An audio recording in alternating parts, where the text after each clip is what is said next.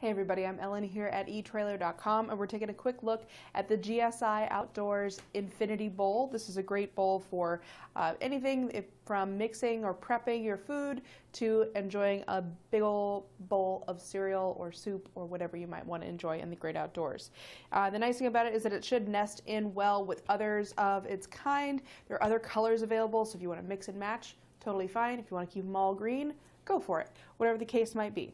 So let's take a closer look. I'll give you some measurements to see if this is going to be the right fit for you. The thing that I like about it, again, is that it is going to be a polypropylene material, so it's going to be pretty durable, but still very lightweight.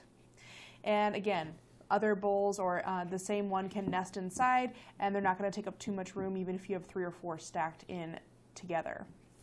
As far as the diameter here, the outer edge is about seven and three quarter inches.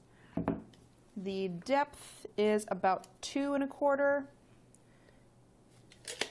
And it does not give a capacity as far as what this can hold. Uh, it weighs about 2.64 ounces. If I had to guess, I'd say this can probably hold about two and a half, maybe three cups.